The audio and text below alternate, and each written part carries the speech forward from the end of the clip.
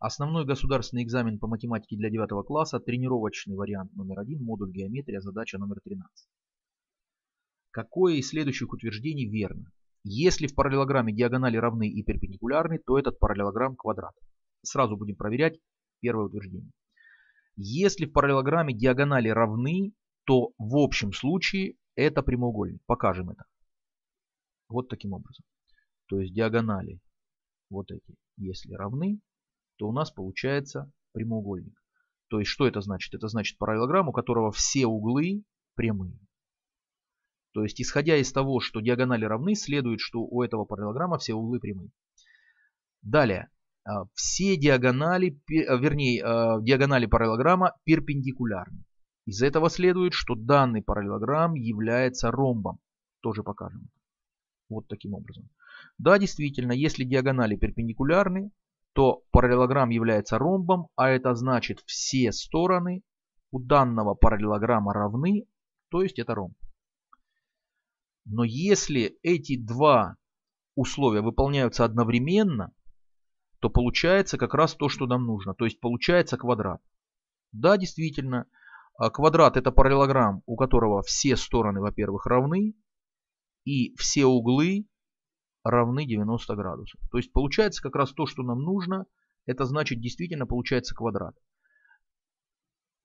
Таким образом, утверждение под номером 1 нас устраивает. Вот мы его обведем, чтобы не забыть. Далее, второе утверждение. Смежные углы равны. Вспомним, что такое смежные углы. Покажем сразу. А, смежные углы это Два угла, у которых одна сторона общая, а две другие являются продолжениями друг друга. А, далее, мы также знаем, что смежные углы образуют развернутый угол. Да, действительно, вот этот угол развернут. То есть в сумме это значит, что они равны 180 градусов.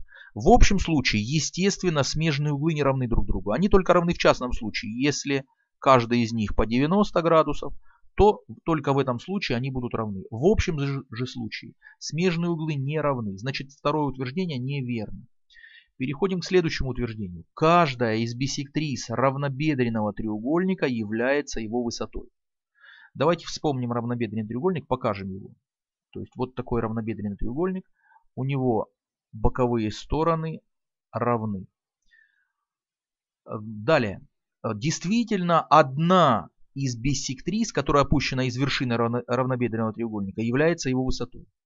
А вот если мы сейчас покажем высоту и биссектрису, а, которые опущены из угла при основании, то мы такого совпадения не заметим. Давайте сразу покажем, ну, например, высоту.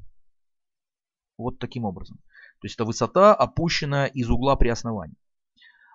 А далее, а, из вершины угла при основании.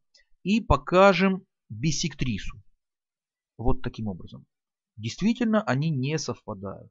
Это значит, что третье утверждение неверно, а это значит, что нас устраивает только утверждение под номером 1. Это значит, что в ответ мы должны записать число 1. Задача решена.